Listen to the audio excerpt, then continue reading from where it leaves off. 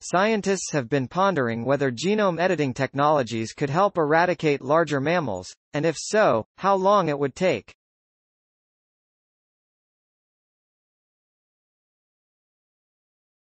In order to address these questions, a team of researchers from the University of Adelaide developed a mathematical model able to simulate the impact of gene drives on mammal populations at a landscape scale. Published in the open-access Neobiota journal, their study is the first to estimate the time it would take to eradicate long-lived alien mammals. In this way, the drive-carrying males should only produce sons that also carry the molecular scissors on their Y chromosome. Over multiple generations, females will become rarer and produce fewer offspring. As a result, the population size will fall.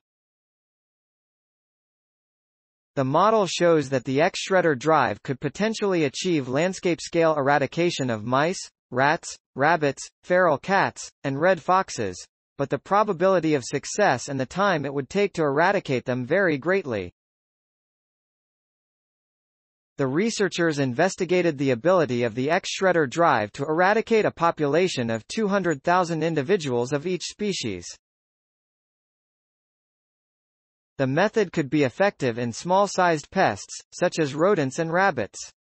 The expected time to eradication is 18 years for mice, 19 years for rats, and 48 years for rabbits, with 90% population suppression achieved in around half those times. However, the results suggest that gene drives are not a one-size-fits-all solution. They might not be so useful in larger species like cats and foxes.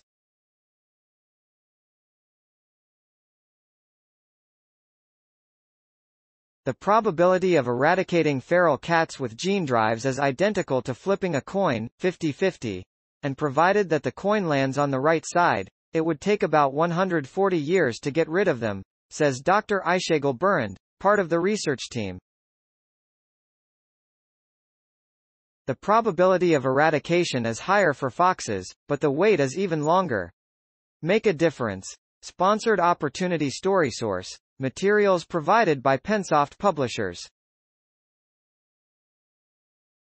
Note. Content may be edited for style and length. Journal reference. Aysegul Birand, Phillip Cassey, Joshua V. Ross, Paul Q. Thomas, Thomas A. A. Prowse. https colon slash slash ift. TT, 1 DVX EdW, accessed July 8, 2022. Thanks for watching. Please subscribe my channel for more videos.